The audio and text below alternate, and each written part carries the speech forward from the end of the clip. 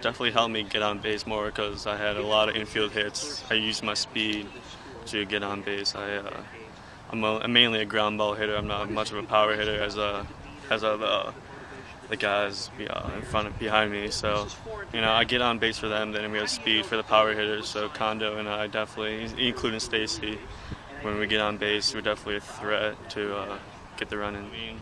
Playing with the kids over the summer and then playing up all my career it's definitely helped me because I've been playing with the kids on other teams just as much as I've been playing with the kids on my team. So then working with all these kids over uh, winter has definitely made me more comfortable seeing the same pitchers I would see during the season during the winter. Well, just made me more comfortable on the plate.